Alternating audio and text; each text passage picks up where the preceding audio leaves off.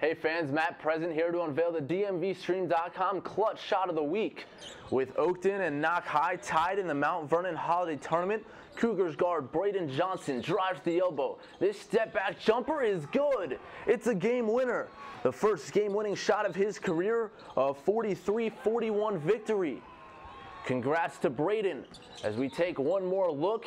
This one, our clutch shot of the week. You want your shot featured? Well, send us a tweet at DMV Stream on Twitter.